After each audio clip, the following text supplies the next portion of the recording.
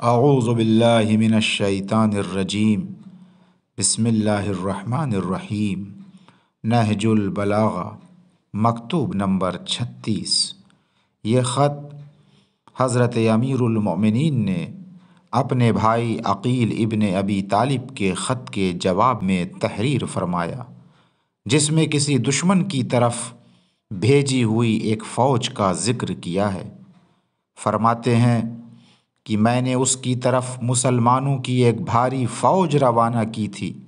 जब उसको पता चला तो वो दामन गर्दान कर भाग खड़ा हुआ और पशेमान होकर पीछे हटने पर मजबूर हो गया। सूरज डूबने के करीब था कि हमारी फौज ने उसे एक रास्ते में जा लिया और न होने के बराबर कुछ झड़पें हुई होंगी और घड़ी भर ठहरा होगा। कि भाग कर जान बचा गया, जबकि उसे गले से पकड़ा जा चुका था, और आखिरी सांसों के सिवा उसमें कुछ बाकी ना रह गया था। इस तरह बड़ी मुश्किल से वो बच निकला।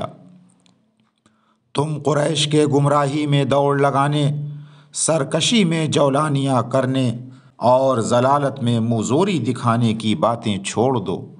उन्होंने मुझसे जंग करने में उसी तरह एका किया जिस तरह वो मुझसे पहले रसूलुल्लाह से लड़ने के लिए एका किए हुए थे। खुदा करे उनकी करनी उनके सामने आए। उन्होंने मेरे रिश्ते का कोई लिहाज न किया और मेरे माँ जाए की हुकूमत मुझसे छीन ली। और जो तुमने जंग के बारे में मेरी राय दरियाफ्त की है तो मेरी आखिरी दम तक राय यही रहेगी कि जिन लोगों ने जंग को जायज़ करार दे लिया है उनसे जंग करना चाहिए।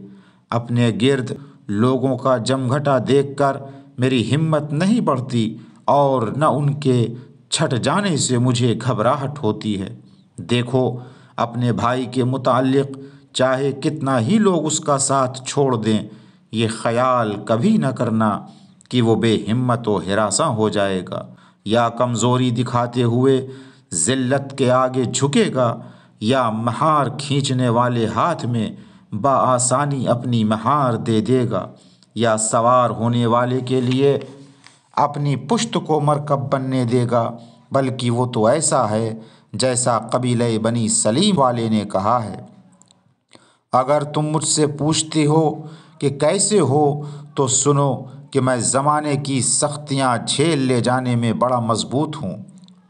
मुझे ये गवारा नहीं कि मुझमें हुज़्न गम के आसार दिखाई पड़ें, कि दुश्मन खुश होने लगें और दोस्तों को रंज पहुँचे। व आखिर दावाना अनिलहमदिल्ला रब्बिल आलमीन।